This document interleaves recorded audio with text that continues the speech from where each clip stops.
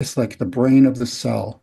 It can sense the availability of nutrients, of growth factors, of stress, oxygen status, um, energy status.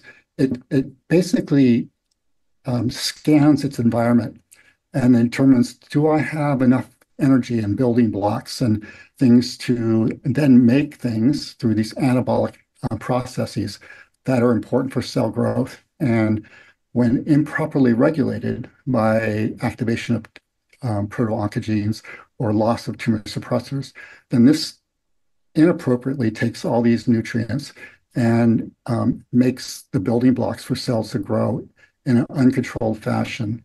So, so the basic concept is that TOR is this really amazing um, signaling system that is a sensor for the cell, is the brain of the cell. Hmm. So it's a sensor. It can sense aspects of stress, aspects of nutrient availability. It's like an integrator of many signals, and it's very much involved with a cell's sort of decision about when or how much to to build new stuff. Exactly. Hmm.